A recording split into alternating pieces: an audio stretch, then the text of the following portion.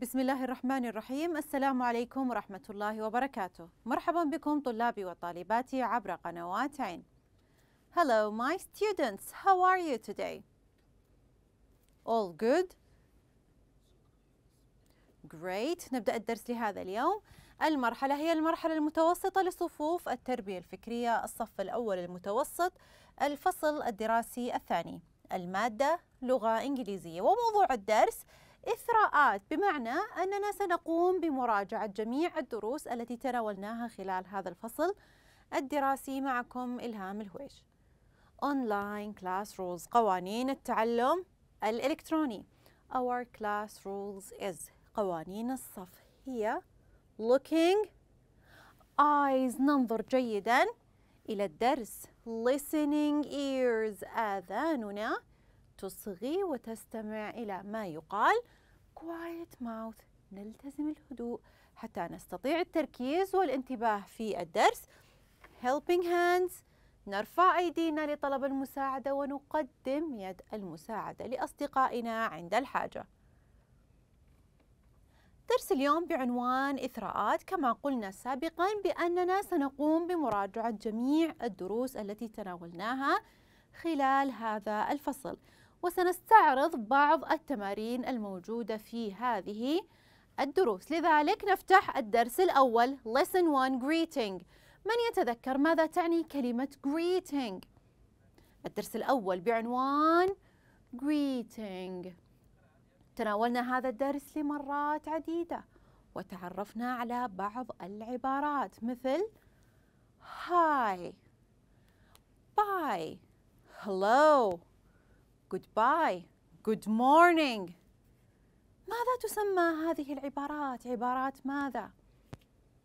التحية. Great job. إذا كلمة greeting تعني التحية رائعين يا طلابي. في هذا الفصل تعرفنا على تحية جديدة وهي good morning. Repeat after me. Good morning. Good morning.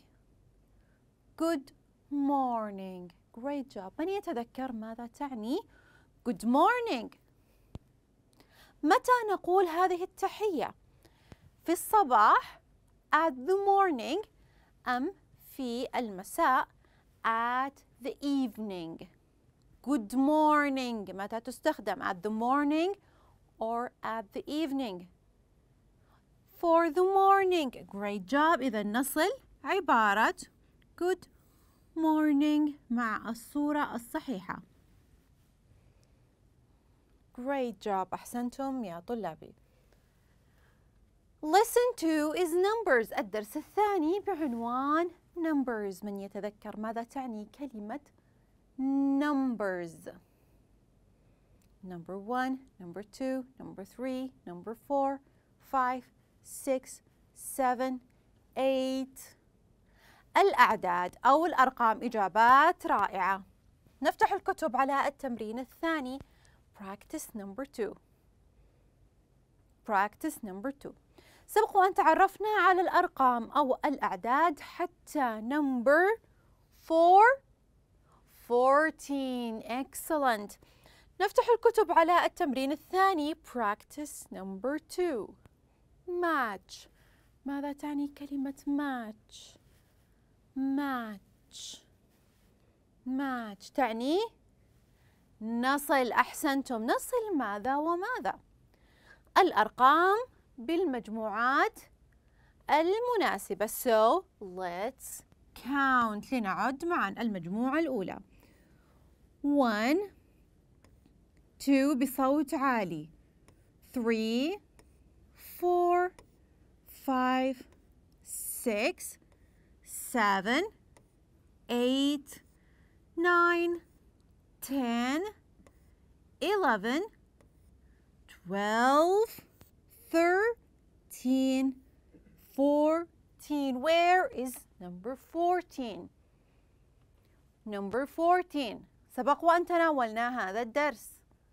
Great job. This is number 14. المجموعة التالية.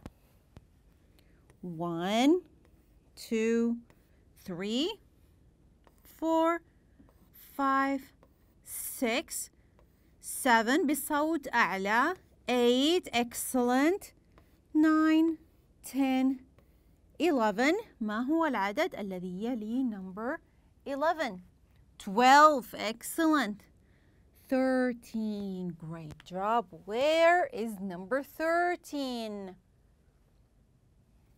excellent. رائعين يا طلابي. ممتازين.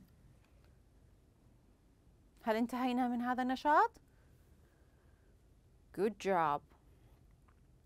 Lesson 3 is letters. الدرس الثالث بعنوان letters. من يتذكر ماذا تعني كلمة letters letter A letter B letter C.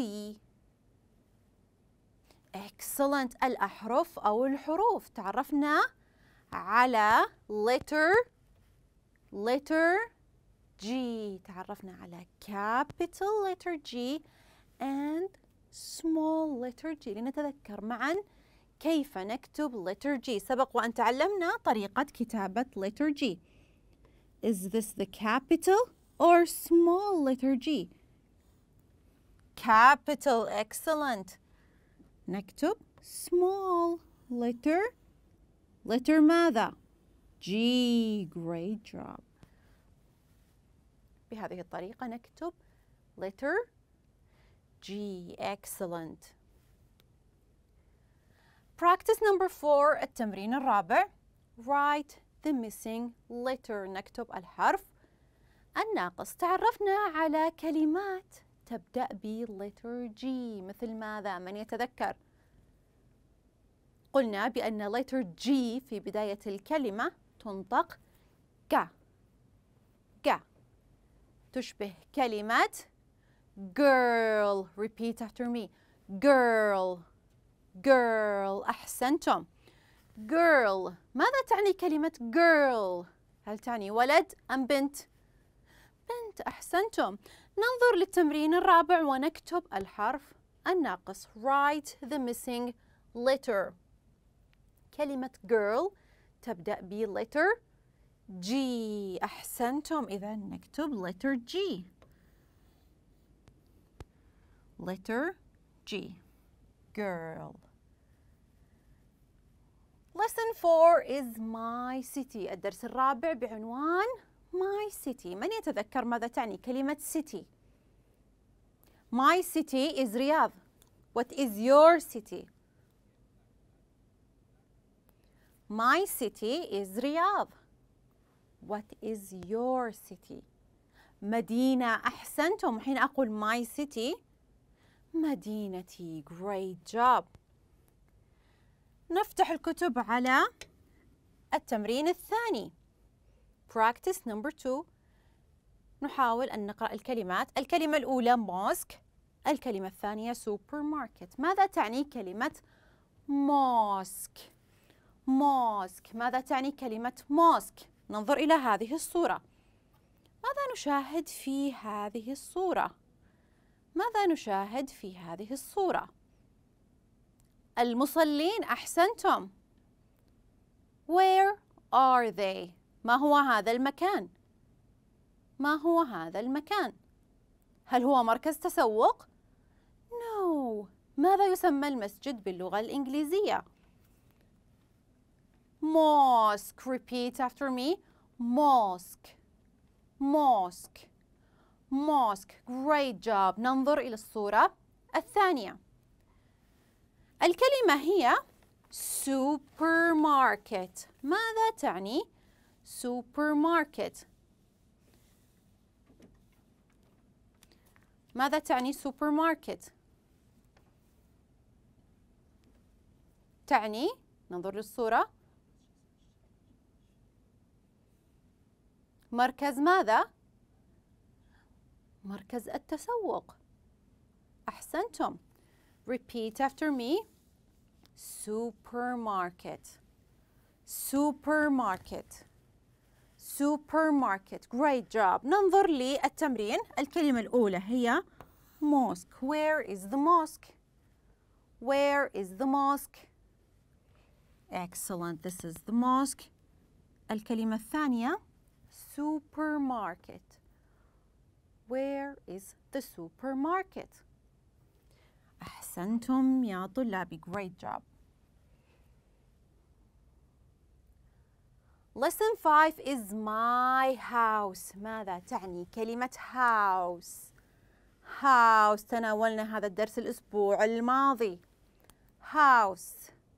بيت أو منزل. إجابات رائعة. وحين أقول my house my house. بيتي أو منزلي. في الماضي تعرفنا على بعض غرف المنزل مثل living room bed room وفي هذا الفصل تعرفنا على مكان جديد في المنزل. من يتذكر ما هو هذا المكان؟ Kitchen. Repeat after me. Kitchen. Kitchen.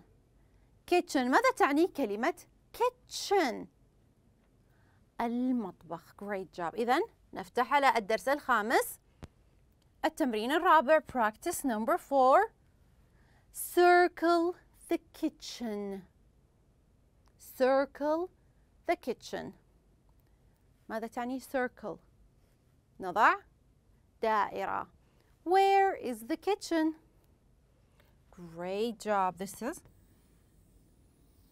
the kitchen نضع دائرة بهذا الشكل. أحسنتم يا طلاب. Recommendations أو التوصيات. Do your homework. نحل الواجب المنزلي. ماذا سيكون الواجب المنزلي في درس الإثراءات؟ لابد من أن نقوم بمراجعة جميع التمارين في الدروس الماضية. هذه المراجعة هذه المراجعة لا تكفي لإتقان جميع المهارات في هذا المقرر لابد من مراجعة جميع التمارين في جميع الدروس. ونتأكد مما إذا كانت لدينا بعض الأسئلة. Practice كيف نتدرب على درس الإثراءات؟ نتدرب على إلقاء التحية باللغة الإنجليزية. Good morning. وعلى العد حتى number 14 great job. ماذا أيضا؟ الأحرف ما هو الحرف الذي تناولناه في هذا الفصل؟ Letter G. نتعرف على letter G. الفرق بين capital letter G and small letter G وبعض الكلمات التي تبدأ ب letter G. نتعرف على بعض الأماكن في المدينة. supermarket mosque ماذا أيضا؟ kitchen great job. ننطق ونتعرف على طريقة النطق الصحيحة للكلمات وكتابة هذه الكلمات أيضا. Listen to an English language. نستمع دائما إلى اللغة الإنجليزية. درس اليوم كان إثراءات بمعنى أننا قمنا بمراجعة الدروس الماضية. شكرا لكم والسلام عليكم ورحمة الله وبركاته.